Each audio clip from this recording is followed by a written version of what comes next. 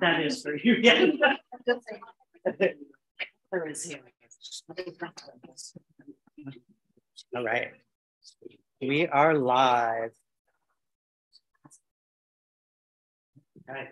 So welcome everyone to the launch of, where is it? Camp Quiltbag. Yeah, yeah.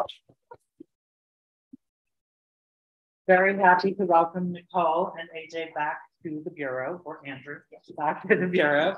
Uh, they were here about a year ago, right? Yeah. Um, so we're super glad that they could make it back. And we're glad you all came out on a cold, rainy day to be in this warm space together. Um, so my name is Greg Newton. I am the co-founder of the Bureau of General Services Queer Division, along with my partner, Donnie Jochum. Um, Max Nazario is the volunteer helping us out today, and we are an all volunteer organization. The explanation for our long name is that we are a government agency for a government that does not yet exist. And this is the service that we provide. It's holding this space for queer culture. So we have regular bookstore hours Wednesdays through Sundays from 1 to 7 p.m. Um, often we stay open later when we have an event in the evenings, but we also do a lot of weekend events that usually take place around three o'clock.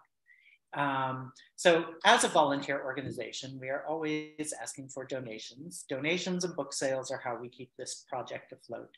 Uh, so we have a suggested donation of $10, but please give whatever you can, if you can. And if you'd rather support us by buying a book, that is a perfectly legitimate and wonderful way to support. So I'll pass this around. You can also Venmo us at BGSQD, those letters that are all around you. And there's change in there if you need it. So thank you so much.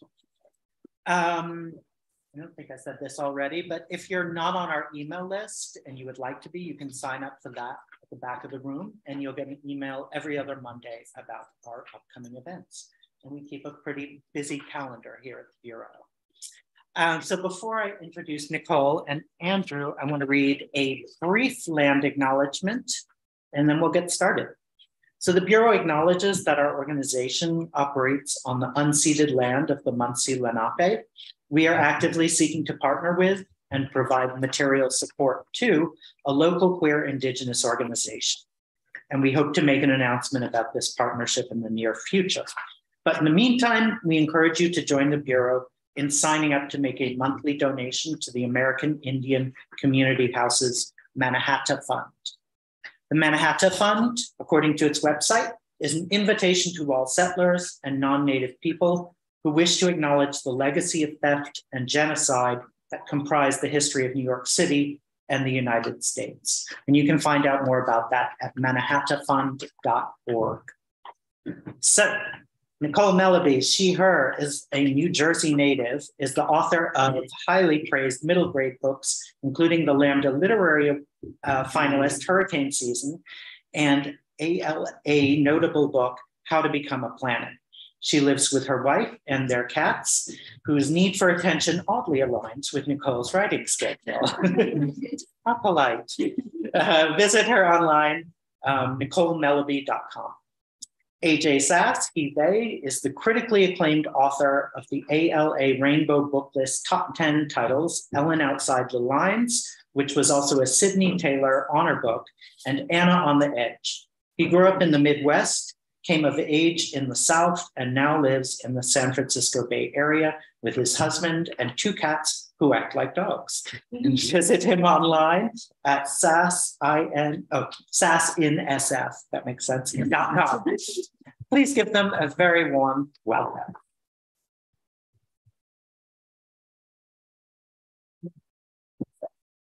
A lot of cat action.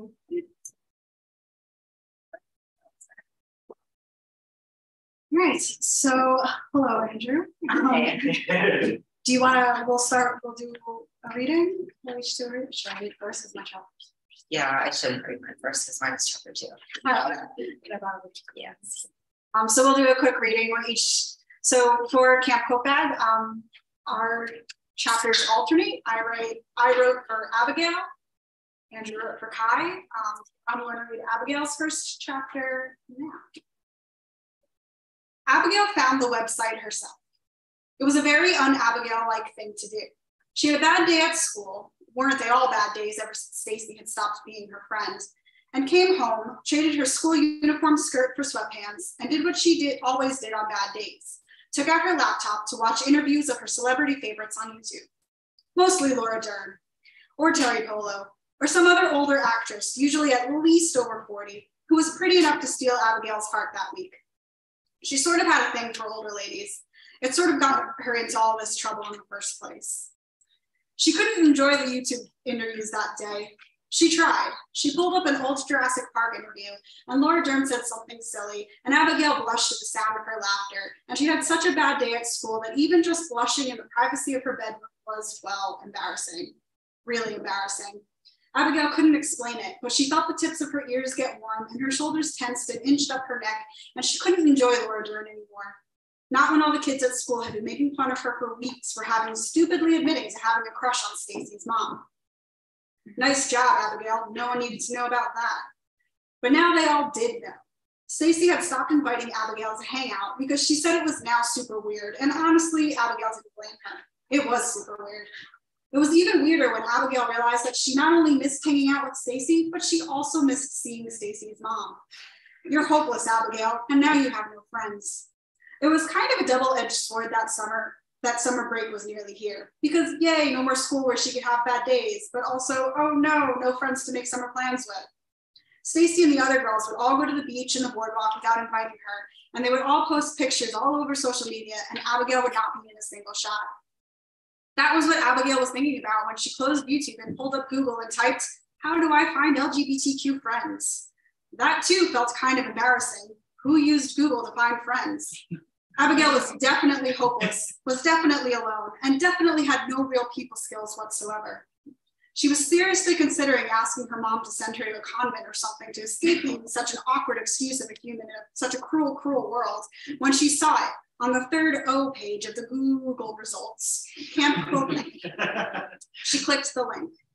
Camp Quiltbag, according to his website, was a two-week camp for LGBTQ plus youth in Minnesota, which was definitely delightfully far, far away from Abigail's friends, ex-friends in New Jersey. The very top of the page had a quote from a former camper that said, Camp Quiltbag felt more like just a summer camp. It felt like coming home. There were pictures of kids in rainbow colored shirts, smiling, arms around each other. The description said it had activities just like any other camp, obstacle courses, swimming, kayaking, archery, and one specifically for LGBTQ plus kids. Workshops on gender identity and expression, body image and self-esteem, LGBTQ plus history, and drag makeup. It sounded terrifying. Abigail was just Abigail, and the kids in these pictures were all smiles and dyed hair and cool, colorful clothes.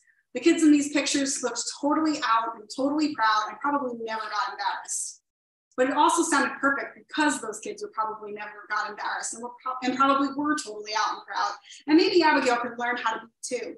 Maybe they'd understand her crush on Stacy's mom and Laura Dern and Teri Polo and all the other beautiful women in the world. So she clicked on the more information link and filled out her mom's email address and then hit send before she could stop herself. She had a minor panic attack and major regret immediately afterwards. It wasn't that her parents didn't know, but there was knowing and there was knowing. There was a difference between, oh, Abigail has crushes on actresses and Abigail wants to go to gay camp. Not to mention the fact that she wouldn't exactly be able to tell a single soul at school she'd be spending her summer at gay camp of all things. Though, in fairness, it wasn't like she had anyone to tell right now anyway. But it wasn't like she could take it back now either. She sped out of the room and down the stairs to where her mom was sitting in the living room, but all she could do was stand there, eyes wide, watching it unfold, like realizing the jello was wiggling and knowing a T-Rex was about to show up. But really, how well could you run from it now? Abigail's mom was basically glued to her cell phone, and Abigail had the pleasure of making it to the room just in time to hear a buzz with a notification of an incoming email. Abigail pressed her lips tightly together, holding her breath. Is this something you're interested in? Her mom asked. No, maybe. it's over $2,000 to attend, her mom responded, which was a lot of money. Abigail knew that from how intensely she studied the website in the first place. but her mom and dad paid for Catholic school every year because they wanted Abigail to have a foundation of faith or whatever. They could spend on if they could spend the money on something they wanted, they could spend it on something Abigail needed, right? Don't be selfish, Abigail. If it's too much, I don't have to, she said. You clearly want to, her mom said. I don't know that I understand all this, and I need to look into this camp a bit more, but if it's important to you, you need to let us know. Abigail took a deep breath, and in her second, very un-Abigail like move, she admitted, It's important to me. Three, three weeks later, she fortunately wasn't packing to be sent away to a convent. She was packing for a long plane ride to Minnesota to spend two weeks at Camp Quiltbag.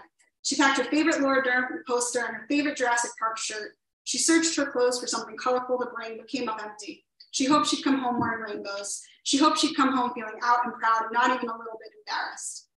Even though right now she was still kind of embarrassed. She hadn't told anyone at school where she'd be going this summer. She lied and said she was spending the summer at her family's lake house in upstate New York, who had been Abigail's, uh, who had been Abigail, oh wait, sorry, Stacy, who had been Abigail's best friend basically her entire life, who knew full well that Abigail's family didn't have a lake house, nor did she have family that lived in upstate New York in general, had stopped giving Abigail the cold shoulder solely to ask her a million questions about it.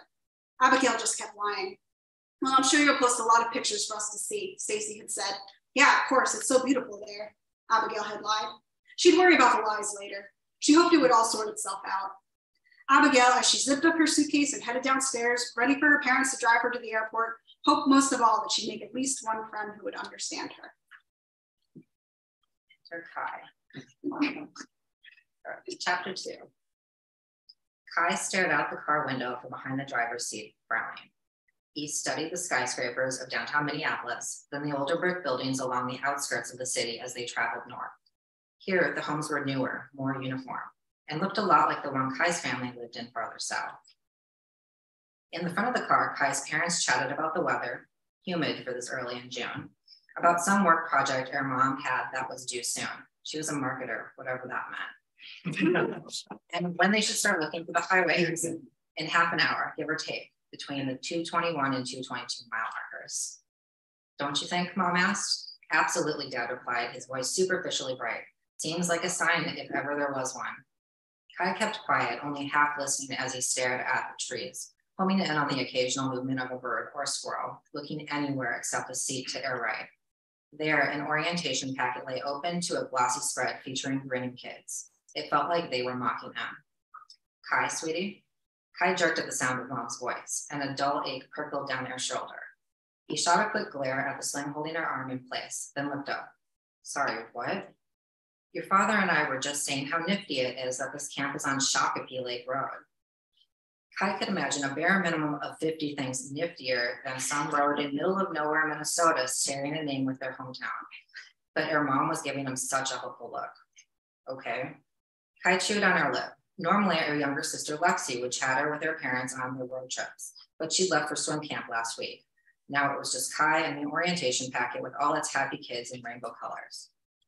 Camp Quiltbag, a safe space to be yourself, exclamation mark. Kai didn't see why he couldn't just be himself back home. Instead, her parents were sending him someplace where he wouldn't know anyone, all because a few kids at school last year had a problem with Kai and their pronouns. So dumb. It feels like a sign, Dad said again. Don't you think, Kai? I guess. Kai knew he was being difficult, that her parents were just trying to be supportive, but he was fine. He definitely didn't need to attend Camp Quiltbag to figure out her identity because he already knew it. Kai Lindquist, former gymnast turned parkour wizard, almost eighth grader. Pronouns and an identity were only a small part of him. It wasn't Kai's fault that, uh, that, that that's what everyone else focused on. He slouched in her seat and let mom and dad continue talking. Kai couldn't help wishing he was back in the real Shakopee as they passed mile marker 204. He slipped her phone out of her pocket, eyeing the notifications. Nothing from Cece or any of our old gymnastics teammates, but that wasn't a shocker. They'd all been pretty quiet since the incident that started this whole let's send Kai to camp he doesn't want to be at business. There was a group of texts from Leo, last year's parkour team captain. loneliness washed over Kai as he read the reminder that next week's practice plus an upcoming event was happening two weeks from now. Most of their teammates lived a few towns away from Kai and attended a different school, so practice and events were the only times he got to see them. Kai wouldn't have been able to participate in the event due to her shoulder, but he still could have gone to the gym and spent time with her friends between now and then. He wouldn't know anyone at Camp Quiltbag, so it felt a lot like he'd be starting from scratch. Kai had already started over when he quit gymnastics, and he wasn't eager to do it again, now that he'd already found a group of supportive friends. The second text was from another parkour friend, Queen Aziza. Hey, King Kai, are you there yet? The corners of Kai's mouth twitched up. Kai, in like 10 miles, have you figured out how to teleport and save me yet? Sweetie, her mom was looking back at him again. You promise you'll give this a try for your dad and me? The entire drive, both mom and dad have been acting all bright and positive. It reminded Kai of the smiles he used to practice with Cece before gymnastics meets. He'd eventually gotten so good at looking confident, it was impossible to tell what was real or faked. Her mom's and dad's forced expressions were a lot more obvious. But now mom's tone was less upbeat, more pleading. Her brows pinched toward the bridge of her nose, and a worry line wrinkled her forehead beneath blonde hair that matched Kai's own. As much as this camp felt like a punishment, Kai knew her parents were just trying to find a good balance between letting them do her own thing and showing that they supported them. That's what Kai's therapist kept saying anyway. Kai had learned to visualize positive outcomes with their therapist since coming out last year, but he still couldn't imagine meeting anyone like Aziza at camp. Two weeks just wasn't enough time to build that kind of trust. It was too late to turn back now, though. Throat tight, Kai nodded. Plus, you said I could leave early, right? Next Friday instead of Sunday, so I can go to Aziz's parkour event. Mom sighed. We said we'd think about it. Let's see how you settle in at camp first, all right? Kai didn't reply. We will definitely make a decision before the beginning of the second week, Dad promised. Try not to worry about it until then. Besides, you might realize you're having so much fun that you'll want to stay through the end. Not likely. But Kai stayed quiet as Dad kept talking just give it a chance. If you really don't want to stay, you can let us know at the end of next weekend and we'll get you early. How's that sound? It sounded like Kai and her parents weren't on the same page, that they were reading completely different books, actually. Still, there was no point in arguing now that they were almost there. Okay. Mom's worry line disappeared. She sat back in her seat just as they drove past mile marker 220. Not long now, pal, Dad said, and Kai's chest clenched a little. The car slowed down after mile 221. Beyond it, another sign came into view. It said Shakopee, just like back home, except not even close because of the added lake road. I really do think this will be a great experience, mom said as dad turned off the highway and onto the gravel road. Maybe you'll even meet other parkour fans. As long as you don't actually do any parkour, dad chimed in. The car bumped along the gravel road, jerking them all against their seatbelts. Kai's shoulders twinged Kai's shoulder twinged again. I get to take this off in like three days though, right? Hopefully, dad said. We'll see what the camp nurse thinks. And that doesn't mean you'll be able to do all the tricks you used to do before those awful boys. Kai's stomach twisted as mom paused. Before you got injured. A wooden arch appeared, painted like a rainbow. Dad drove under it, then parked at the end of a row of cars. Mom hopped out first and hurried around the car to open the door for Kai. My other arm's fine, you know, Kai said. I can open doors myself. I know, mom smiled. I just wanted to give you your first goodbye hug. Kai leaned into her, cheeks hot. Last year, her face would have been buried in mom's shoulder, breathing in the perfume she always wore, vanilla lavender. Now, her chin almost cleared it, giving him a clear view past her. Kids hopped out of their cars. Some were hugging their parents, just like Kai. A few waved or called to campers they seemed to already know. Others headed out of the parking lot toward a group of kids and adults who'd formed a line in front of a sign-in table. Dad patted Kai's back, and her stomach performed a flip that would have made half her parkour team jealous. Ready, pal? Kai didn't honestly know, but he'd promised to try, so he forced a smile and nodded his mom hand over her suitcase.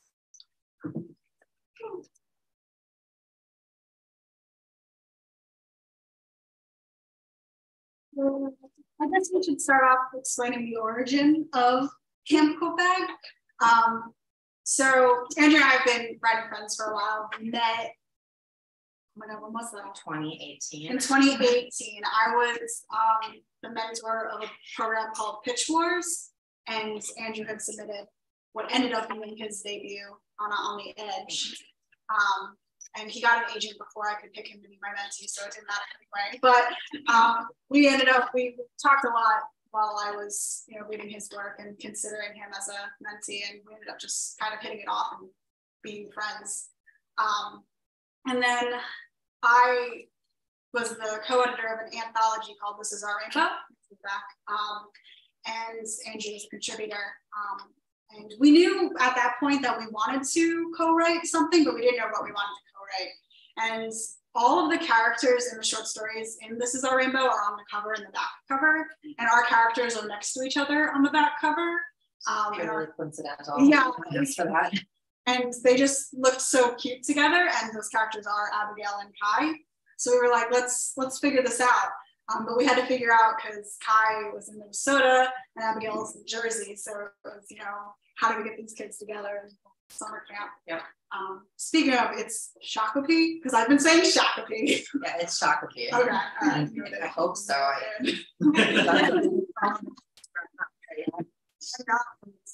um, so elements to me.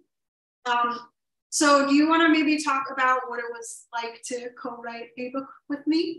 well, it was fun. Um, but yeah, so we, we sold this book on proposal. So we wrote six chapters. So basically three Abigail, three Kai, and a little synopsis that explained where we were going with this to prove we actually had a plot in mind. and then suddenly the editor was like, great, write the rest. So, so we alternated chapters, but we did work from an outline, like I mentioned. And Nicole's and my process very different. Um, Nicole gets an idea and is like, all right, I'm going to write this and be done a week from now. I get an idea and I think about it for like two or three years. And I write the first chapter and I'm like, this is all wrong. I started in the wrong place. Maybe this isn't the main character. And I thought it was, you know, stuff like that. So we were on deadline. So that forced me to actually like make some decisions faster. I think it maybe forced you to slow down a little bit, but also it forced me to speed up. And we kind of we spent the summer of 2021. I wrote almost two years ago already, but publishing is very slow. But yeah, we we kind of alternated back and forth, and um, it was like every other week we would each do a chapter. Actually, the way we were working, because you're much faster than me, is it would take me a week to write a chapter. I would send it to her Sunday night, wake up Monday morning, she'd have a chapter back to me. so it was really just me writing chapters every week and her doing it on Monday morning. But but there was a lot of texting back and forth because some of you may have been here last year um, when I was in conversation with her for her other book, um, The Science of Being Angry. But that was the first time we met, and at that point, we were already done drafting Camp Quiltbags. So we were thinking maybe we'll do a tour, so maybe we should meet up first to make sure we actually like, like each other. but yeah. yeah, it was it was a lot of texting. Neither of us really like Zoom or phone calls. We are both millennials, so we hate the phone. Don't want to talk on the phone. It's um, a lot of a lot of texting. Yeah, in Google Docs.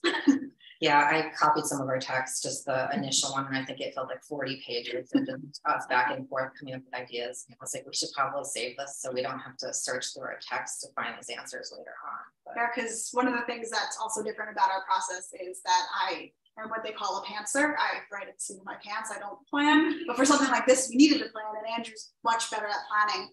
So having to like actually think about the book as a whole was very new to me. Um, so that was challenging for me, probably more so than than the uh, actual drafting of it. Um, but it was really nice to have an outline and just yeah, I'm also stuck to it too, which yeah. I did not do on one of my other books. I wrote on my own where the outline no longer reflects anything. So it was nice. It mostly stayed the same, I think when I updated it, um, I'm that type of person that I felt like I needed updated just so that I had it. Um, there were a couple scenes where we flopped a couple things, and that was specific to the fact that every chapter is written either from Abigail's point of view or Kai's. So sometimes the things that I wanted to have done, Nicole had to write into her chapters to have it done. Yeah, and, that was interesting because yeah. I know even while we were writing, there were certain things that we were like, I really want to tackle this, but I don't know where in my chapters. And you know, to find places in, in mind to be able to do that. Like there was, um, there's one, a, a camper, Oren, who is Jewish, and Andrew wanted to have this character talk about what it's like to be queer and Jewish. Um, he comes from an Orthodox Jewish yeah. uh, community. Um, and he couldn't find a place to do it in, in his. Um, so there was a moment where I was able to have this character have a conversation about it with Abigail, um, who comes from a Catholic school. So they were actually able to have this conversation about faith and sexuality in a way that probably wouldn't have happened as organically. No, I don't think so in a Kai chapter, specifically too, because Kai comes from an interfaith family. Their mom is Reform Jewish and their dad is Lutheran, I believe I said, uh, Minnesota. and I feel like I was very interested in Oren and like Oren was wearing a kippah and Kai knew that meant Jewish probably, but but he doesn't really have a background in faith that Oren had. So I think having this conversation with Oren in a Kai chapter would have been very focused on Kai and Kai's experiences. And I think we would have lost something that we gained by having it be an Abigail chapter. Yeah, so that was that was probably the most interesting. I think when you looked at an outline and in the nature of us going back and forth because we did I read a chapter, send it to me, read a chapter, and then so you kind of would see where you're at in that outline and see kind of okay, well, what comes next? What do I need to do in my chapter? What can I actually let Andrew tackle in his? And a lot of that definitely came down to the fact that we were good, good friends and we trusted each other as writers because otherwise, I mean, it might have been weird to trust someone for the scene. You know, a scene like that with this character talking about Judaism. Um, I'm not Jewish, obviously, and I think that I had to text you a lot of questions like, I don't I don't know what what is a little Jewish hat called. kept being like, you know, not church, but but it worked because Abigail was coming from the same place as me. Um, so I was able to talk to Andrew and learn from Andrew, filter it through Abigail's perspective, and kind of come out with this this conversation that um, between the two.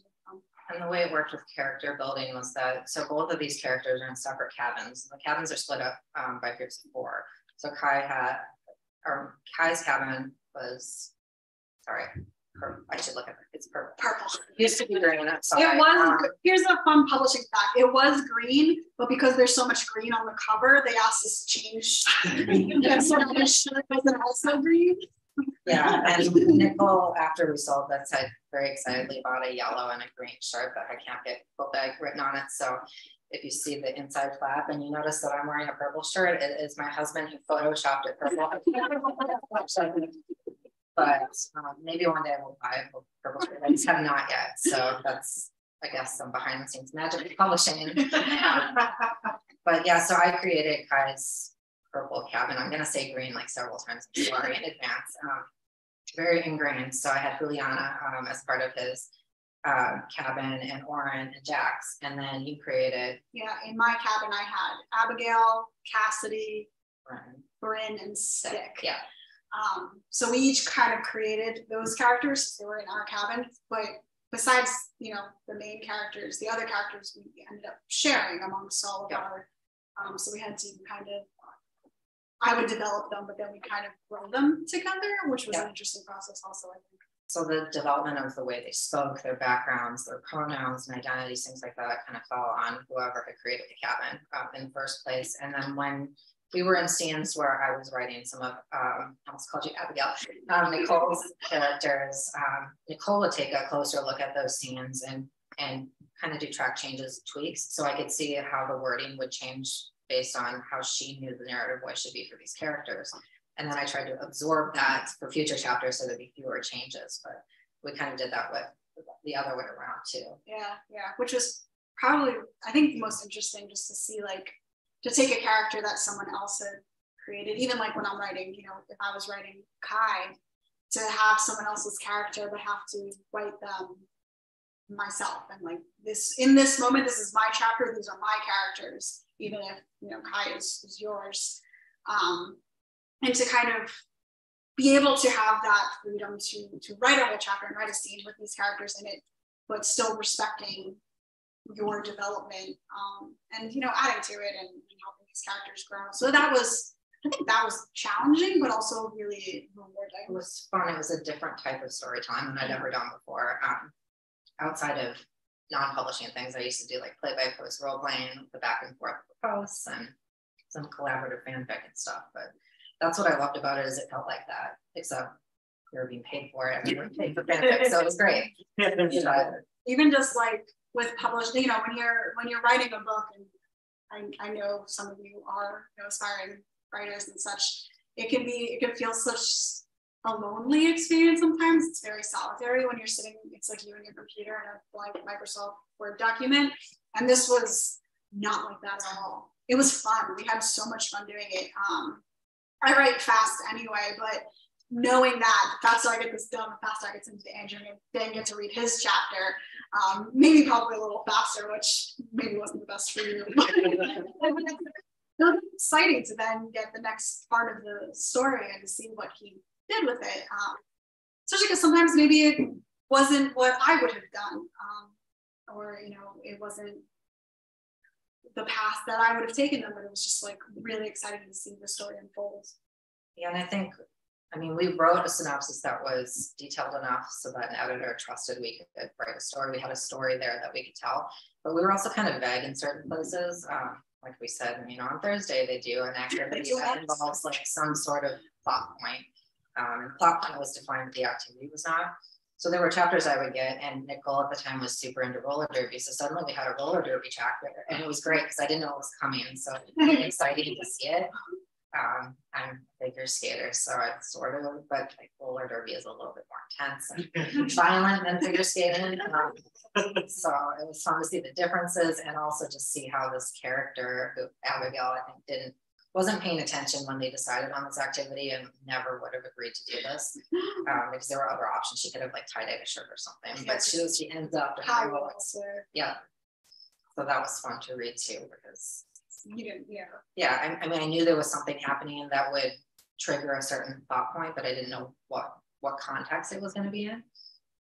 Even like you know just when in an outline you see like you know these two characters get closer and then to see like the relationship between Kai and Aaron um, kind of develop in these, these two into this little like side romance yeah. was was really rewarding too and it was really fun to watch develop from my end because I didn't write the two of them travel together because it wasn't my chapter that, that all unfolded from Kai's side.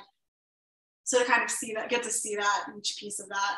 Um, and then I remember when we were writing, because Kai and Abigail, like they fight at one point, and it was like devastating to have to like write and, and like send it off to you. And like, oh, they're so sad. Say like,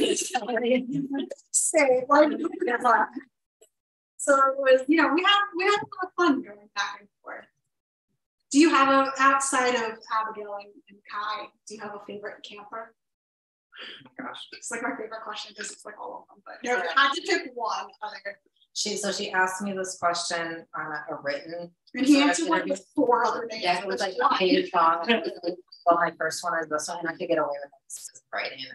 they weren't cutting us down. Oh my gosh. Um, I know it's hard. Okay. Okay, I'm gonna pick Bryn this time. I, every time I get asked this question, it's different. But Bryn is a, a trans boy camper who is in Abigail's cabin. Um, I don't think it's come out to his family yet, but uh, right. No, no but he's just this wonderful character who's very quiet and soft and gentle. And and I liked seeing that as someone who is trans myself because so often, particularly trans masculine people feel this need to perform masculinity in a very like overt way. And that is not who I am. I'm like not to like put gender stereotypes on figure skating, but figure skating is not like a like a, it's not roller roller. It's like, um, but yeah, and to see Brendan, maybe Brendan wants to be more masculine, but he was not portrayed that way when Nicole wrote him, and I still 100% saw him as a man or a boy, I suppose, at that point. And that meant a lot to me. There was also a scene, I'm not going to explain what the scene is so that I don't spoil it for you, but there was a moment where Abigail had helped Bryn for something that related to puberty. And Bryn was really deeply struggling, like on an emotional level. And, and I think I helped a little bit with that because I was like, oh my gosh, I'm in my feels. I, I get this but I didn't know that was coming. It was something that was not in our outline. And I'm like Monday morning, haven't had coffee, just sobbing on my desk because I'm feeling this so deeply in myself. But yeah, I think Bryn would probably be my favorite today. Um, oh, what about you though? I, I should have. I know. I should have like thought about this. I was gonna ask you. Um, I don't know. Oh, maybe Cassidy. If you ask me right now, um, again, I could change out any other, because I also want to say Juliana, but uh, I'll say Cassidy because she's just so excited and loud and proud and happy to be at this camp that like the very first thing she says to, to Abigail is like, I miss you. I was just gonna tell her that. So excited to be able to like be there and share that with people that she just like screams at her. And Abigail who's like, you know, a little shell shock is like, oh God, like what is, what is happening right? Um, So I think, yeah, I think Cassidy just because she's got so much energy and so. Um, I'm trying to see if Cassidy even said her name first before. No, she did. Okay. Is it like I'm Cassidy? I'm a lesbian. Basically, she's like, I'm Cassidy, she, her. Below me is Bryn, he, him. And then there's a little paragraph where Abigail's looking at Bryn, um, who's shorter than Abigail with long shaggy hair. And she's like kind of processing this. She says hi. And then Cassidy goes, I'm a lesbian, um, which absolutely took Abigail by surprise. and it took me by surprise because I was like, oh, okay, well, that's Cassidy. So you have, yeah, it, it, was fun getting to like write all these different types of queer kids because you have ones like Abigail who's very, she wants this really badly. She wants to be part of the community. She's not as knowledgeable as some of her queer peers. So she, you know, she's still learning a lot of the vocabulary and whatnot. And then you have someone like Cassidy who's willing to like shout it in your face. You have, you know, Bryn who's quiet and just kind of like, I'm gonna sit back and observe and like be here, be excited to be here, but I'm not gonna, you know, shout about it. Um, Kai doesn't think he belongs at the camp because he's like, this is just who I am. I don't need to like pronounce it. It's everyone else's problem, not mine. But he's also struggling with trust issues because he doesn't have a community that understands him. And then the other people in Kai's cabin have been to camp before. So there's that bit of a dynamic where Kai doesn't feel like he fits in because of that. Um, and I'm really proud I'm getting his pronouns right because um, I want to mention this, like we kept misgendering Kai during the drafting process, which was an interesting experience for me. Um, Kai is female assigned at birth, but we were misgendering um, with usually male pronouns. Yeah. I Which is interesting. don't know what that says about anything other than it's interesting. We were having this conversation about gosh, when we start going on tour and talking about these characters, like we better be careful with the pronouns because there, there are a lot of different pronouns. There's um, people with they them pronouns. There's a camp counselor who has any pronouns, which Kai struggles with as someone who really had to search for the right pronouns for himself.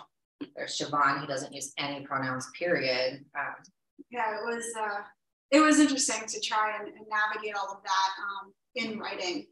Um, and yeah, it was weird because we anytime we did misgender Kai, it wasn't even the right wrong part. Like it was, um, but it was. I think it was interesting. It was something to to learn from. That you know, it is something that we had to consider and, and figure out as we went along, um, and just be really mindful to get it right. Um, which practice. I mean, yeah, yeah, that was kind of the lessons. Yeah. like you know, even with something like this, like even with people like us, like it takes practice, it takes time, I think, but that's okay. And as long as at the end of the day we got it right, um, doing our best. Yeah. yeah. Um, one, I feel like too, as someone who did change his his or their pronouns um, a couple years ago, maybe a few years ago now too. It's it's just a matter of seeing how people react when they do misgender you was interesting to me too, because some people freak out about it and then feel bad for the rest of their lives and still um, and interestingly, that made me feel more uncomfortable than almost them just being like they would use she, her for me and then be like, oh, I'm sorry, and fix it and move on. And I think, I mean, there's some grace that we need to extend to people who are actually trying, I think, but. And that was kind of a lesson. It was like, anytime we did it, we fixed it and moved on. Yeah.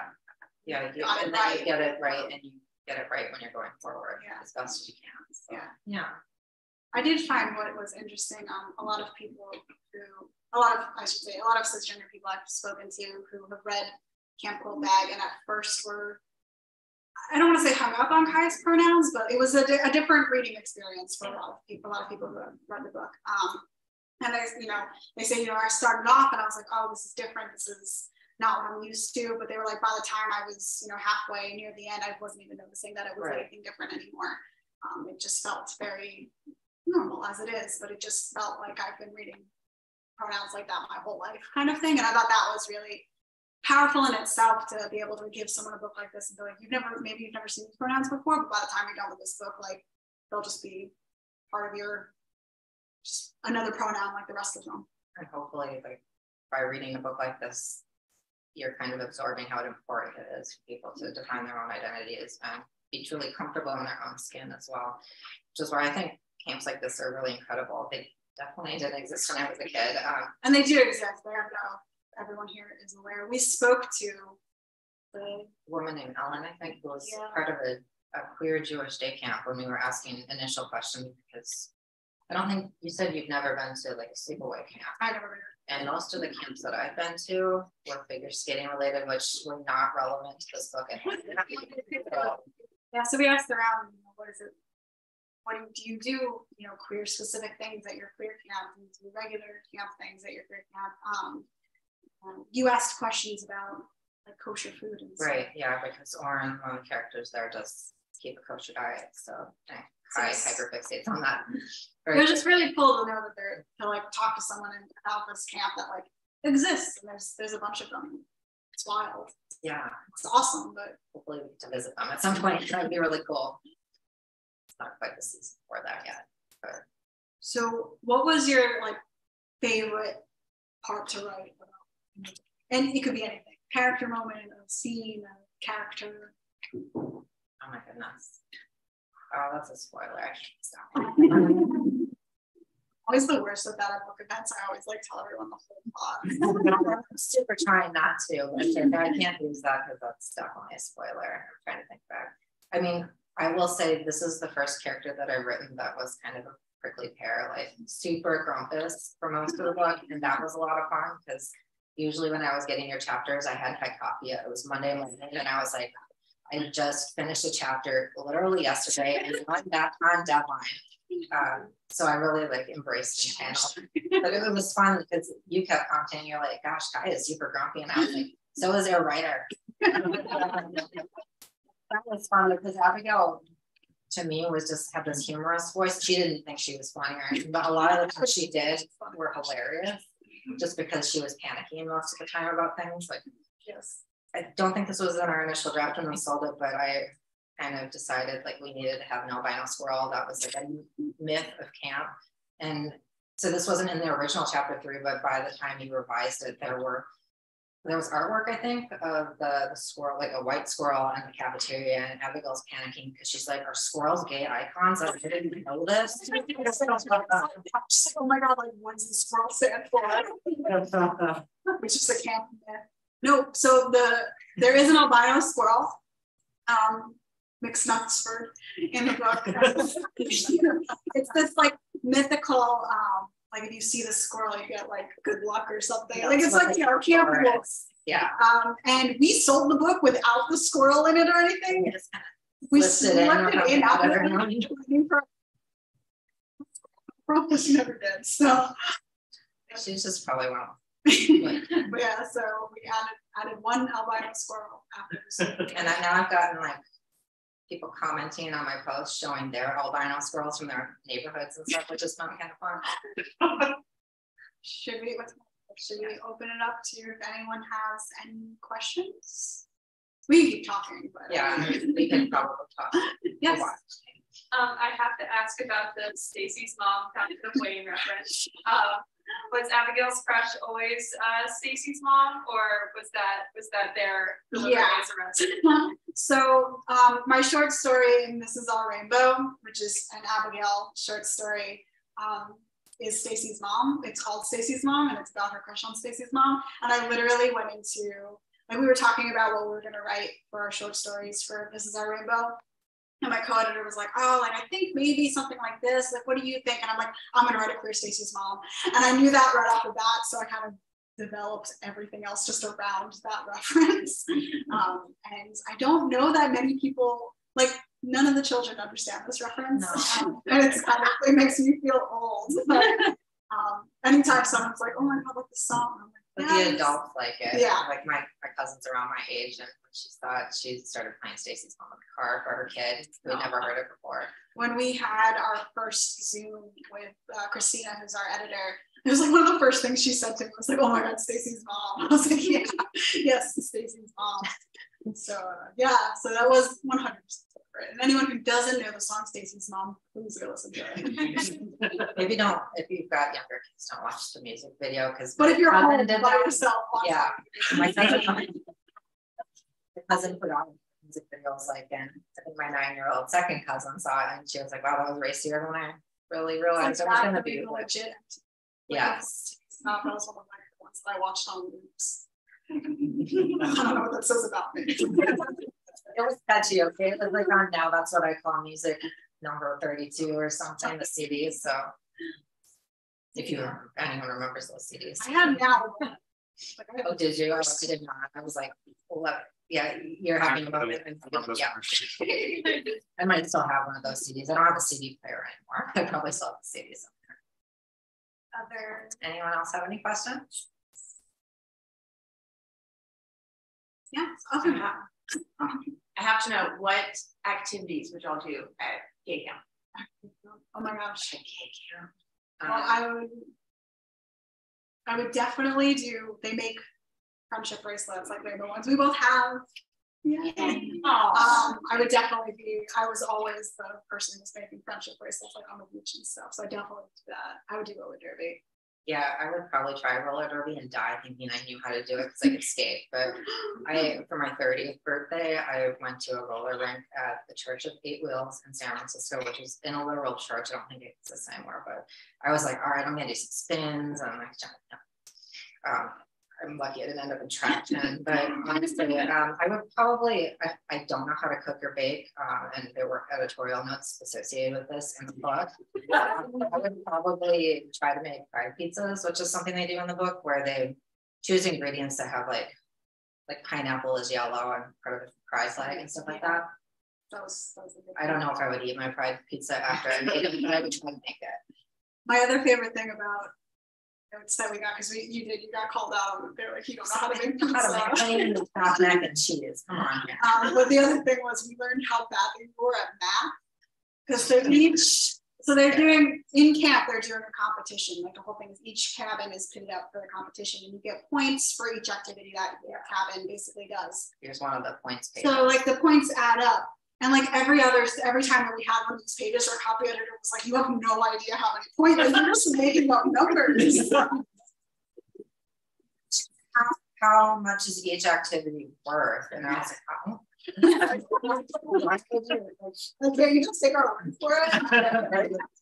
So I volunteered as tribute. I mean, it was our own fault because we were the ones who put it in the draft that have the, the numbers. So then they were like, of course, we need to actually know that these are accurate. And I was like, why?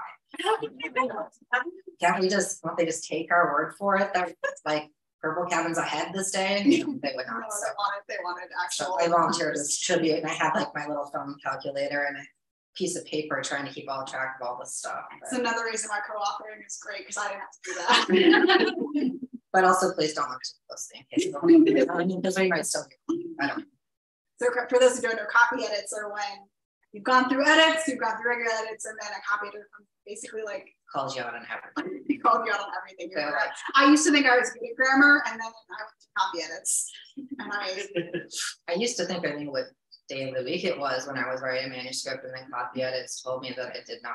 Um, so they basically like they correct your grammar and structure writing structures and, and all the the facts, the timeline and stuff. Um, but my favorite, we were talking about this earlier, um, because again, Kai is Minnesota, uh, Abigail's New Jersey. Um, one of the things that I always write, and I don't know how many of you guys are from New Jersey, but the thing that we say is like, I'm waiting online for something, right? Like, I'm waiting online. I, I have to get online for this XYZ.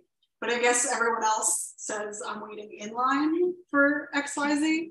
Um, but so anytime my copy editors are always like, you, you mean in line. And then my editor who I've worked with forever now is like, she's from Jersey, you can keep on. so I fight for it every time. So in, in Camp Quiltbag, in the Abigail chapters, it will say online. But if there's any in Kai's, it'll say in line. Yes. It's cool. That's from Minnesota, yeah. And I don't think we ever mentioned it, but I would have said pop instead of soda. They have been mentioned. Um, Oh yeah, little things like that is, is what copy edits call you on. How bad at math. you are. Any other questions? Huh. Is there anything that you learned from this co-authoring writing process that you then kind of took into your own individual projects? Oh, that's a good question. I don't know if it's actually been effective, but um, this sounds weird since I did say we wrote from a synopsis, but I kind of, by talking to Nicole and learning about her process, I'm trying to allow myself to not stick so closely to an outline going forward because when Nicole gets an idea, she just runs with it like pantser does and figures out things at plot points along the way as she goes. Whereas like my last project that I wrote that's coming out next year, I wrote from I sold it on like five chapters and a synopsis and struggled when I, I, I found that I'm very good at writing synopses that sound like I know what I'm doing. And then when I actually tried to write it, they don't work at all. So, but I was like, no, this is what sold, this is what has to, you know. So like three kids came out within like three chapters of each other. It was just, it was a mess. And I feel like if I had been like, what would Nicole do? Like WWND. um, I, I maybe would have not had to rewrite the whole thing like two months later. So I'm trying to kind of embrace spontaneity a little bit more in my writing. And it's funny because I feel like I'm going the other way where I'm trying to like, we've met in the middle really well. Um, where, you know, when you pant sometimes like some, for me, I hit the middle sometimes and I'm like, I, I don't know. I know where I need to get, but I don't really know how I'm getting there. Um, and it was just so nice knowing where we were going and to be able to develop everything around that, that now I try and think ahead a little more than I than I was, um, just making me a little faster of a writer. but, um, so now I'm kind of thinking ahead more than just staying where I am, so that I can kind of think about where I need to go a little more, um, a little more specifically, so I don't hit as many pitfalls as I think I had been. Because um, I also I draft short um, and then builds is how I always do, and then you draft I draft big and try to make it. Sometimes it doesn't actually get smaller after I draft, but yeah, I, I usually overdraft and then have to start pulling. So we're also different in that way. And I think I learned a lot about like how to how to figure out those missing pieces faster and, and more more deliberately as I'm drafting. So yeah, I think we just we met in the middle really yeah. really well. Thankfully. I know I'm, I'm also kind of shy when I'm drafting. Like I don't want to share with like, what if this idea is dumb? Whereas when you're drafting and you get stuck on something, you're like, I need to find a way to get this character to do to this point at a needed middle. And you even I, if I can't think of anything, you're just talking it out with me usually in text. And I was like, I need to do that more because a lot of times when I do that with my partner, he doesn't actually offer any solutions. But by thinking about it passively, I kind of come to my own solutions and I'm like, thank you so much. And he's like, okay. Um, well, it's like we're on, so I don't know if we said, but so we are on different coasts. San Diego is the Bay Area in California. And, um, so sometimes I'm, I'm texting him like, oh, I need help with X, Y, Z, and I'm talking it out, and he's like sleeping or he's not awake yet. And by the time he wakes up, I'm like, thanks so much for yeah, already figured it out. So yeah, just I think I think that's why I worked writing camp so well too, just because we had already had that dynamic where we were bouncing things off of each other. So then to do it and writing the same thing was just made it even easier because we knew exactly where we were coming from. And it's fun to have someone who knows your characters as well as you do. Um, usually, when you're talking about your book with critique partners or friends, they kind of have a general sense of what you're talking about, but they, they don't know as well as you do. But with this, like, we had to make these decisions early on to sell the book. So we knew kind of the journey of each character that we wanted them to take. We could kind of help get them there. Other questions? I we can probably um well happy to sign any books that you guys have. If anyone wants to ask us questions, you come up and chat with us. But uh, thank you all so much for coming.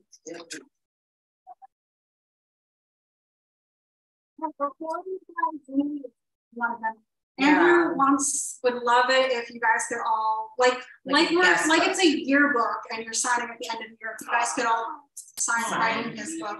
Yeah, I would love that. I'd be honored, and I'll, I'll sign yours too if you want. you played a reverse card. Yeah, it wasn't my idea. It was one of my agent's clients. Um, Taylor right now, Kate, Catherine Bakewell does that and shared a picture. And I was like, that's the coolest idea ever. So that's where that came from. Yay. Thank, Thank you so much, Nicole. Thank you, Andrew. Thanks to everyone who joined us online. Oh,